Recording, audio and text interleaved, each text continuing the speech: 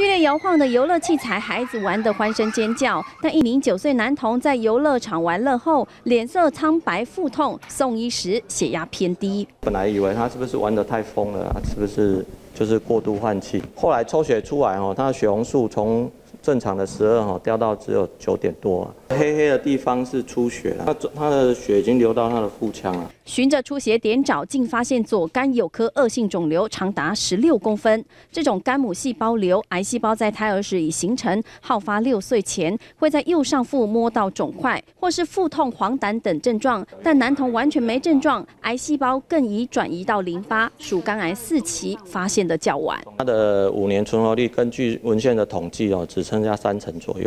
一般这么大的肿瘤哈，它本来就富含血管，它本来就会有自发性的爆破的可能性啊。再加上是不是他做这个游乐器材这样晃啊晃，也有有可能的。原本看似健康开心玩乐，却意外发现肝肿瘤。半年积极医治，男童已做完化疗，继续对抗癌细胞。